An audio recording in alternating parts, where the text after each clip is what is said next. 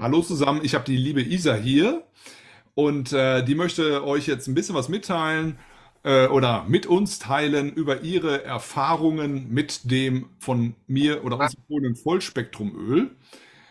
Ja, liebe Isa, vielleicht möchtest du mal einfach ein bisschen erzählen, was du erlebt hast damit.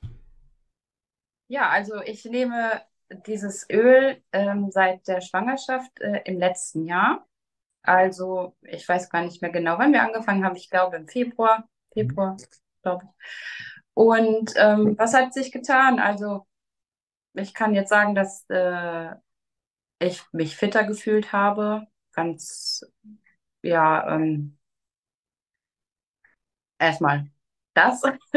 Und ähm, dann hinsichtlich der Geburt war es halt so, dass ähm, ich eine bildschöne Plazenta hatte, die mir dann auch hinterher gezeigt wurde. Und es ist jetzt das dritte Kind. Ich habe die vorher nicht gesehen. Ja, Und die war wirklich riesengroß. ja, Äh, ja, muss wohl besonders gewesen sein, sodass mir das die Schwester und die anderen Mitarbeiter zeigen wollten. ja.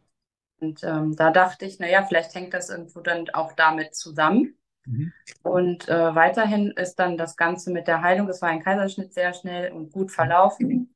Ich bin auch dann, also ich habe meine Rückbildung ganz regulär gemacht und habe dann auch recht schnell wieder mit dem Laufen angefangen. Mhm. Im Vergleich zu den anderen beiden Kindern habe ich jetzt einfach gemerkt, dass ich viel äh, belastungsfähiger war und nicht so viel müde und also leistungsfähiger insgesamt. Ja, im Vergleich na, nach der Geburt der beiden anderen Kinder. Ja, Da war ich einfach irgendwie nur müde und ich habe auch jetzt bei diesem Kind die Nächte durchgemacht. Ne? Also es war nicht so, dass ich viel Mhm. Schlaf bekommen habe. ja, super. Ja, Ja, äh, wir haben das Öl für uns und für die Kinder. Also wir haben das, äh, wir nehmen das alle. Die ja. Kinder merken davon jetzt so in dem Sinne nichts. Aber da sind wir manchmal auch ein bisschen schludrig. Aber für uns Erwachsene, mein Mann auch, der sagt auch, ähm, er merkt es auch, dass er sich besser fühlt. Toll, freut mich. Und du bist ja dann ziemlich schnell auch, hast du einen Run gemacht irgendwie, ne? Ja, genau, da war ich, das war sieben Monate nach der Geburt, habe ich einen 15 Kilometer Lauf gemacht, also einen Massenlauf. Ja, toll. Und das war auch kein Problem. Ich habe da, ich habe im Vorfeld trainiert, Mhm. so dass ich zweimal die Woche laufen war, wenn möglich, und dass ich die 15 Kilometer auch schaffen kann, ne? Also das war auch erstaunlich, fand ich, Ja, für, die kurze Zeit, so sieben Monate nach Geburt. ja, Fand ich jetzt schon eine gute Leistung. Das äh, ja. äh, so kriegt man dann ja auch als Rückmeldung von anderen Leuten. Wie, was? Du bist schon wieder so fit?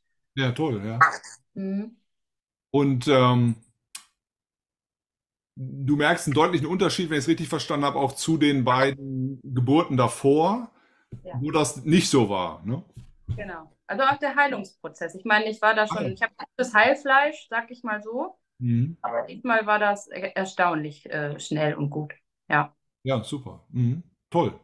Ja, danke dir für die Rückmeldung. Das wird viele äh, Frauen sicherlich auch, äh, werdende Mütter sicherlich auch interessieren.